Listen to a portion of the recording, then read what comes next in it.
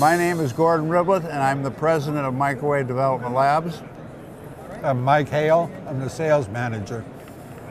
Um, Microwave Deve- Development Labs, MDL, has been in business over 60 years, and uh, we specialize in all kinds of waveguide products between uh, 20 and the 284 waveguide up to WR22. That's between 2 and 50 gigahertz. But we do have some important uh, coax products as well. One of the unique aspects of MDL is we have our own foundry. We have complete production capabilities all the way from starting with raw stock through machining, through testing, through designing our own dip brazing tanks, finishing, painting, total inspection, and packaging and shipping. So uh, one of the complete manufacturing companies out there. So it really helps to, uh, we can start to finish, help the customers. We're particularly known for our wide range of uh, microwave castings. And at this show, we are uh, introducing some new castings in Ridge Guide. Uh, uh, then that includes uh, bends that, uh, from WRD 180 all the way down to 450. So that's a new product line that we're showing at the show this year. One of the unique features of the way that we were able to make these is we have a rapid prototype wax machine.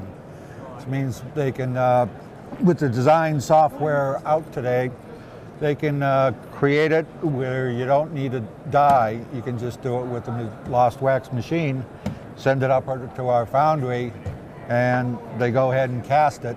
Small run productions, that's convenient, versus all the other standard components in our catalog are made with dies. And uh, the other another product that we're emphasizing this year is end launch adapters. We have a complete line of end launch adapters, and uh, particularly uh, WR34 waveguide, which is being used more and more in the satellite communications uh, area. So we have a, an adapter here which uh, has a VSWR less than 1.25 over the full waveguide band from 22 to 33 and a VSWR less than 1.15 in the SATCOM band 27 to 31 gigahertz.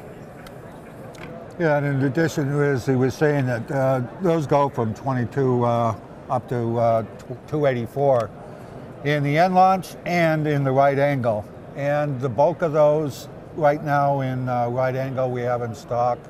The major uh, popular sizes in end launch we also have in stock. We seem to be getting some good business at the show. The, uh, we've had some surprise uh, visits from uh, some, of, some of the larger customers out there we, that we didn't expect. So the, up to this point, the show is going well for us.